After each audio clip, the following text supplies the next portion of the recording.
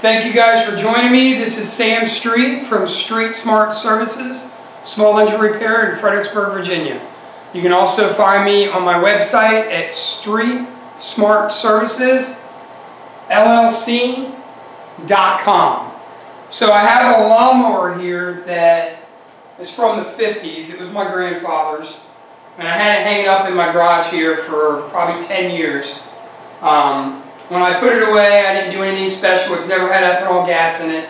Um, I decided to take it down because business is kind of slow now. Um, and uh, I, I, flushed the tank out. There was nothing in it. There was no rust, but I just flushed it out. Um, put non-ethanol fuel in it uh, with the 40 to 1 mixture. It's a two-cycle. Um, and uh, I had the fuel petcock opened. Um, it's, uh, it's not leaking any gas. Um, took the air filter cover off to find out which way the choke worked, because um, you couldn't tell.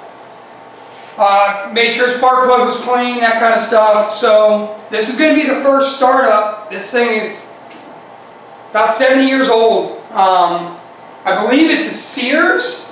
Um, it's a Dunlap is the name brand. So it's got the old rope. You got to wrap the rope around the uh, around the uh, flywheel. So we're going to give it a shot and see. Uh, this is going to be my first YouTube video. Um, I'm going to be doing a lot more that's going to kind of give you maintenance tips and stuff like that. And, um, you know, just some preventative maintenance stuff on lawnmowers and generators and snowblowers and that kind of stuff. So I got the choke on now. We're going to see if we can get this thing going. Like I said, I know it's been 10 years since it ran, uh, but we'll see what we got. Probably had to do it a few times. And it might not start. I don't know, but we'll see. I'm hoping it does.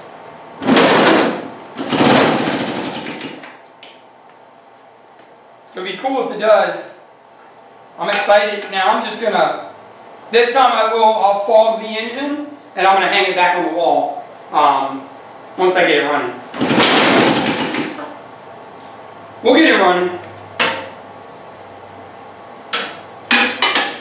I don't want to try to start it ahead of time. Alright, I think it's going to go this time, guys. After I get it running, I'm going to give you guys a close-up so you can kind of see what it is.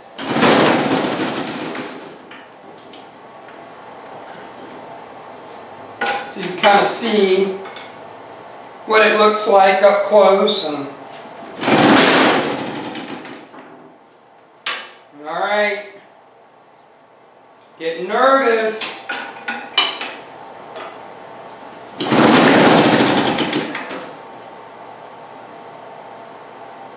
said she's old. Got good compression though.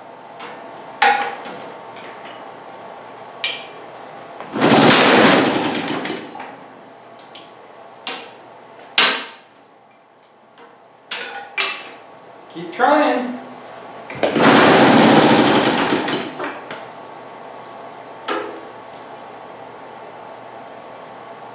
There's a little knob that's on the side of the carburetor which I believe it's it's kind of a, a air-fuel mixture ratio control. Um, so I've been playing with that to see if that changes anything. Alright, I'm feeling it. I'm feeling it right now. Or not. There might be a part two to this video. There it is. Y'all hear that? Alright. I know my cousin had it running 10 years ago. Uh, when it was given to me, I just hung it on the wall. Let's see what we got.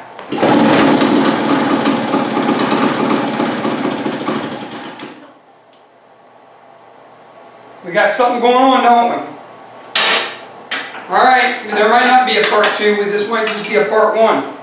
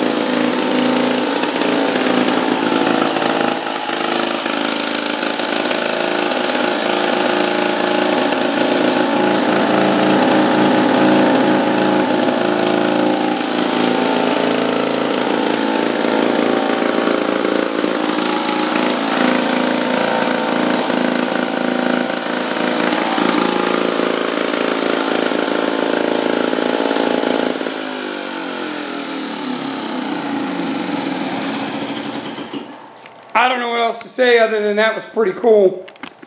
Um, definitely smells in here now. I'm gonna have to open the door.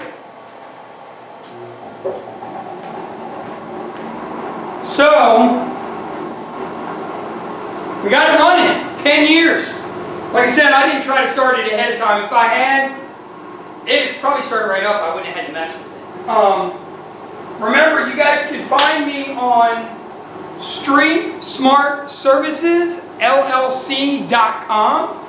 You can also email me at Street Smart Services LLC at gmail.com. Uh, we're a local lawnmower repair shop. We work on ride mowers and lawnmowers and generators and snow blowers and pressure washers, a bunch of different stuff. You can also find me on Google if you look up Street Smart Services um, LLC lawnmower repair. Um, uh, other than that, I appreciate you guys letting me share this video with you. Um, my grandfather would be proud. Um, I'm sure he never had any problems with this thing, but uh, pretty remarkable. Like I said, I'm going to fog it down. I'm going to hang it back on the wall and uh, and enjoy looking at it. And uh, I'll have more videos I will post. Thank you guys.